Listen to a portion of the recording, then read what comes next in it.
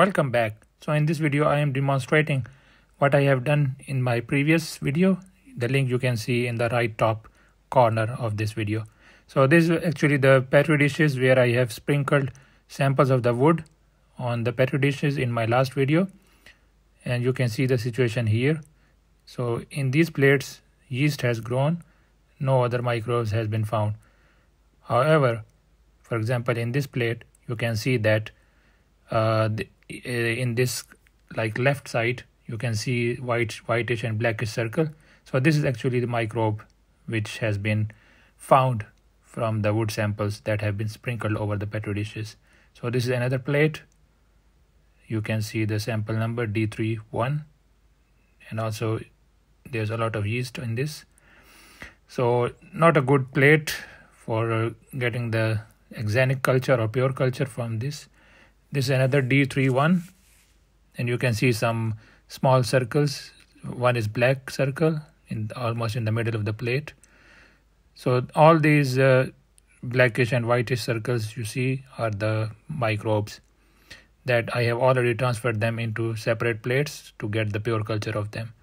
So for example, in this one, you can see that in the right side, there's a whitish circle and I have already transferred it to another plate so this is the plate but there has been nothing grown over it. So uh, I will just wait for a few more days. Maybe something will pop up. But otherwise if nothing will pop up or grow out then I will discard this and mark this sample as nothing has grown.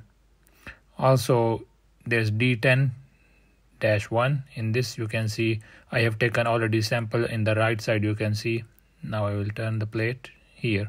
You see a well or a dig. So I have already taken the sample from this plate and put it in a separate uh, plate. And after a few days I will make some observation if something grows. So this is another demonstration of another plate or another sample. So it's very interesting these these kind of uh, phenomena and these experiments I like them before I started to hate them because I have to make a lot of plates, but now I like them because it's fun to work with different microbes. And in my opinion, these uh, microbes that I have already seen or I am showing you now, I think most of them they are fungal uh, microbes, non-bacterial, just fungal.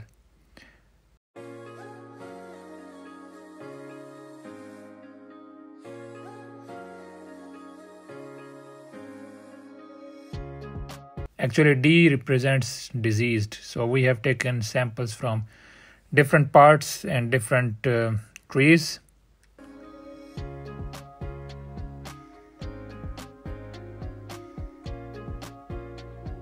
Okay, this is another one, D8 one.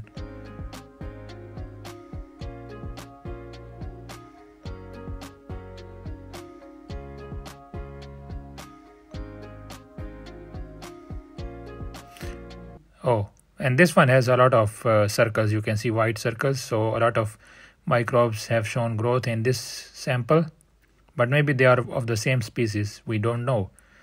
So I have taken few samples and put them into separate plates to get the pure culture or axenic culture. Here you only see two or two, three circles and uh, yeah, I have taken at least two samples from this plate and spread it over to another plate. Okay this plate has shown microbes plus yeast. This slimy thing you can see is actually a yeast. Oh and this one you can see clearly that there are two circles on the top. I have taken sample from this plate also. Like you can see here something dug here so after five days of investigation, I have already identified 10 samples which have shown some microbial growth and I'm waiting for the others.